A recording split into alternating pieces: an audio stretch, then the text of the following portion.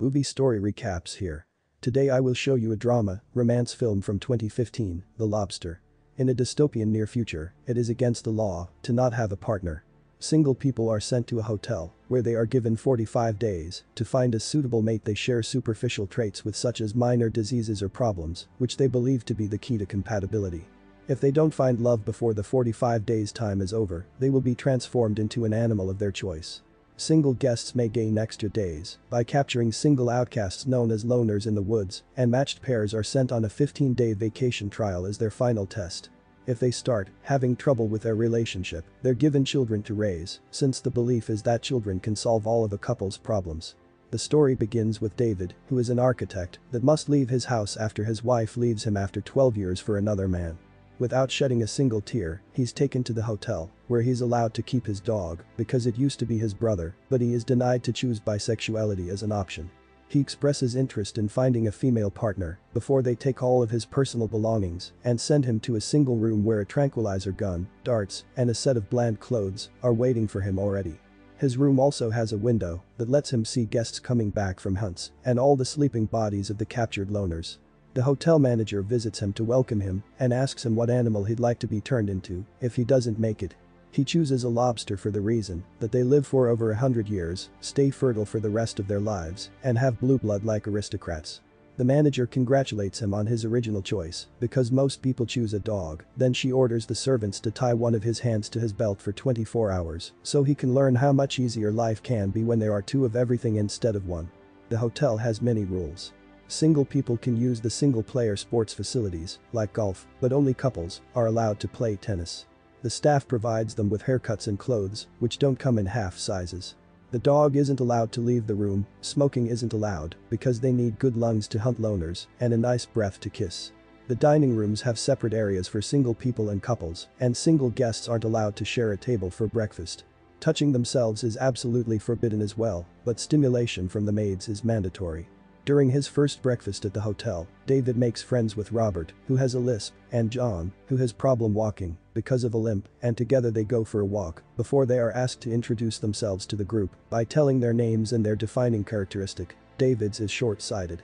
Later in the evening, they attend a dinner party where the manager provides the music together with her husband. David shares a dance with a woman that nosebleeds easily. He dances with a woman everyone considers heartless and has the hunting record of 192 captives, and John chooses a woman who is obsessed with biscuits. But none of them manage to make a connection. After the party is over, the guests are taken to the forest to hunt loners. Most guests have no issues shooting the outcasts, especially the heartless woman, but David can't bring himself to do it, so when the hunt is over, he doesn't get any extra days. Days start passing quickly, and David gets used to the hotel's routine. Guests are obliged to watch little propaganda demonstrations about the advantages of relationships with absurd examples like single people choking on their food if they don't have a partner to help them, or single women getting abused if there isn't a man by their side. A maid comes to his room regularly to sit on his lap and stimulate him until he's hard, which is an activity David doesn't really enjoy because they aren't allowed to finish, so it's only teasing torture. Robert is bothered by this as well and touches himself in private, but when the manager finds out, she burns his hand with a toaster.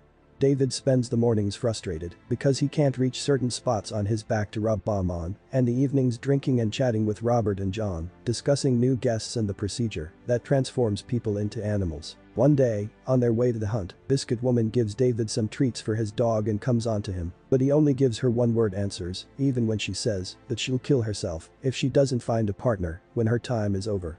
Some days later, during shooting practice, Robert asks David and John what animals they've chosen, saying he wants to be a parrot and perhaps it would be cool if they all chose parrots so they could hang out after the transformation. John insults him and his idea, angering Robert and causing him to jump on him to start a fight, but David separates them. John comes up with a plan. He hits his nose on purpose to make it bleed, before talking to Nosebleed Woman, this helps her establish a connection with her.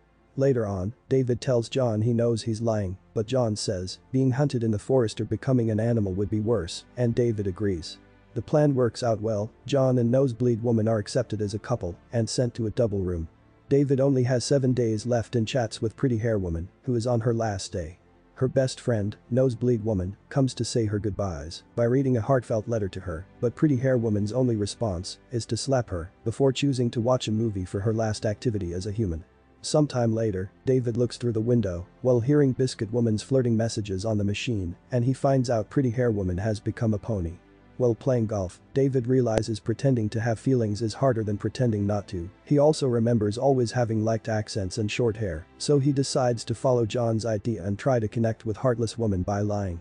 One afternoon, after Biscuit Woman tries to kill herself by jumping off a window, he takes the chance and approaches Heartless Woman to tell her she hopes Biscuit Woman dies quickly so he can have some peace and quiet. Heartless Woman responds by telling him they can talk at another time. A couple of hours later, David joins her in the jacuzzi, where Heartless Woman pretends to choke on her martini. David doesn't help her, and this convinces her he's as heartless as she is, so they agree they're each other's match. The hotel manager declares them a couple and gives them a double room to spend 15 days before they're sent on a yacht trip.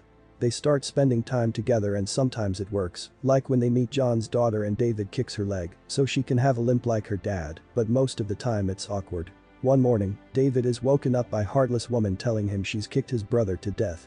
At first, David pretends it doesn't matter, but he breaks down as soon as he enters the bathroom and sees the dog's body. Heartless woman finds him crying and slaps him for lying, revealing she kicked the dog on purpose because she had been suspicious of his plan. Since relationships can't be built on lies, she decides they must tell the manager about this so he can be punished by being transformed into an animal nobody wants to be. David is dragged through the hotel hallways, but as soon as he gets the chance, he hits Heartless Woman and runs away. She immediately starts chasing after him, only to be misdirected by a maid who has hidden David in a room. Using a tranquilizer gun from that room, he comes out and shoots Heartless Woman, before dragging her unconscious body away with the help of the maid, who tells David to shoot her as well, so they won't suspect her. David does so, before taking Heartless Woman into the transformation room to transform her into an animal, which is a better option than killing her or torturing her while she's sleeping and unable to feel the pain. Afterward, David escapes the hotel and runs into the forest where, after a night spent alone, he's found by a group of loners. The leader allows him to join them and gives him a hug, but she also tells him of a very important rule. Romantic or intimate relations between loners are not permitted and those who try will be punished. Conversation is allowed, as long as there isn't any flirting, and this also applies to their dance nights, where they play electronic music on their discs and dance by themselves. A man with a bandaged mouth gives him some supplies, and when David asks another loner what happened to him, he learns what the punishment for flirting is. They cut their lips with a razor and make them kiss, they call it the red kiss. There's also another form of punishment called the red intercourse, but the loners, David starts a new routine of life in the woods, they train in the forest to run and hide from hunters, like when one of the loners accidentally steps on a bear trap and is left alone to free himself. But David hasn't started to work on his own grave yet. He's also been noticed by a fellow female loner that is as short-sighted as he is and hides her attraction to him. One day, the hotel's bus comes over to hunt and David is found by Robert who intends to capture him because he only has two days left David distracts him by saying he's his best friend and that he thinks of him often. This allows short-sighted woman to sneak from behind and stab Robert in the leg. As soon as he falls down, David takes his tranquilizer gun and shoots him to knock him out. The short-sighted woman makes him promise he won't tell anyone that she's helped him and that he'll repay her later by hunting a rabbit for her. David agrees before taking Robert's clothes and guns with him. Meanwhile, the loner's leader meets the hotel maid, who has been a mole for them all this time and has brought a gun and keys for the double rooms at the hotel. She suggests using the items on Saturday because everyone will be tired after the dance and many staff members get the night off, then informs the leader that she'll be quitting her job because she can't stand her dentist husband anymore.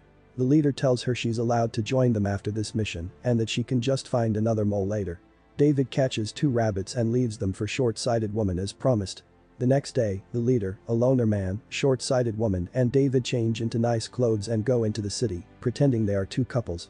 They visit a shopping mall, where they buy supplies and enjoy some food, managing to convince the cop that they're a couple without having to show him their marriage certificates. They leave them all holding hands and as they chit-chat, David learns she is also short-sighted. Afterward, the leader takes them to visit her parents. They all have to pretend to be co-workers and in good relationships to keep the parents off the leader's back. David's speech about his happiness with short-sighted woman is quite intense to be just acting, but they all eat it up.